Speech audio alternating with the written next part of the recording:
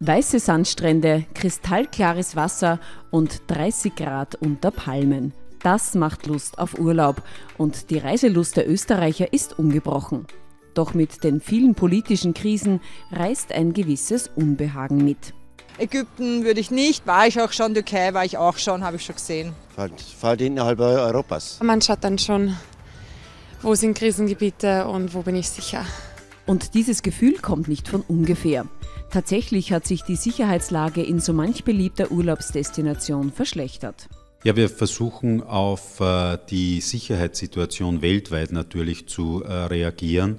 Und wenn man die äh, Homepage des Außenministeriums konsultiert, dann wird man auch sehen, dass es einen weltweiten Sicherheitshinweis gibt seit 2014. Doch das muss den Urlaubsfreuden nicht im Wege stehen. Herr und Frau Österreicher entdecken neue und alte Urlaubsdestinationen für sich.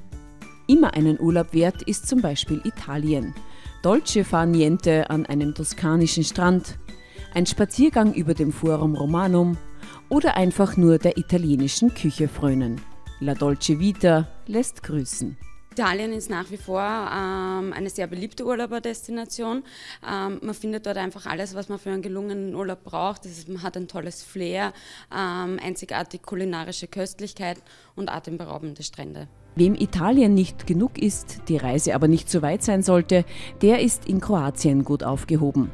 Kilometerlange Strände, unzählige Inseln und eine besonders gastfreundliche Kultur laden nicht nur zum familiären Badeurlaub. Kroatien hat einfach ähm, eine wirklich tolle, ähm, langgezogene Küste, super touristisch erschlossene Inseln, wo man wirklich das Ideale findet, egal ob es jetzt der Naturliebhaber ist, Familien, ähm, Ruhesuchende und Individualisten. Wem das alles zu gewöhnlich ist, für den könnte Bulgarien ein richtiger Insider-Tipp sein. Gerade Urlauber, die früher in die Türkei verreist sind, steuern nun das Paradies am Schwarzen Meer an. Große Ressorts an Goldstrand, Sonnenstrand und Co.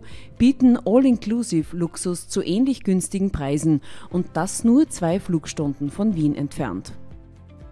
Bulgarien bietet vieles ähm, für Familien. Man findet wirklich schöne Hotels. Ähm, direkt an den Stränden, aber auch für ähm, Kulturbegeisterte, zum Beispiel UNESCO Weltkulturerbe, die Stadt Nessebar.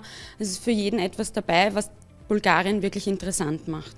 Ein guter Tipp für alle, die sich etwas unsicher vor dem nächsten Urlaub fühlen. Im Reisebüro kann man sich ausführlich beraten lassen und steht auch im Fall der Fälle nicht alleine da.